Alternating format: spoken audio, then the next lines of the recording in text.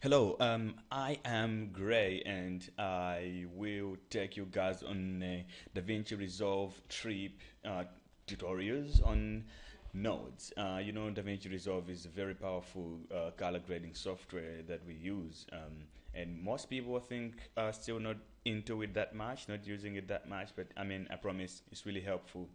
Uh, so I'm gonna take you guys through serial nodes to every other single node that you need to know. Uh, if you think you know the others, feel free to skip to the ne next one, but careful with that because you might you might miss some useful information on every single tutorial. And I will try to keep it as short as possible, but as well I will try to cover as in-depth uh, information as I can.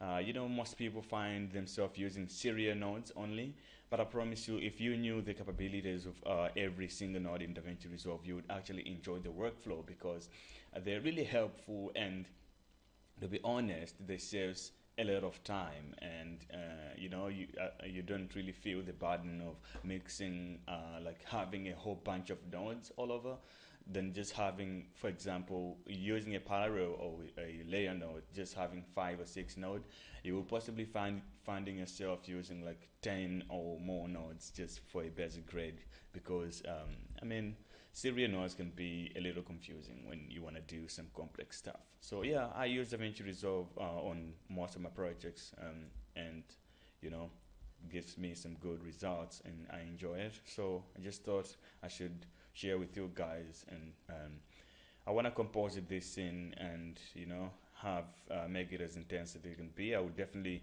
upload it on the uh, on the channel once it's done. Then you guys can have a look and definitely will grade the final in DaVinci Resolve. Um, so this is just a story for another day. Let's get uh, DaVinci Resolve nodes started. Thank you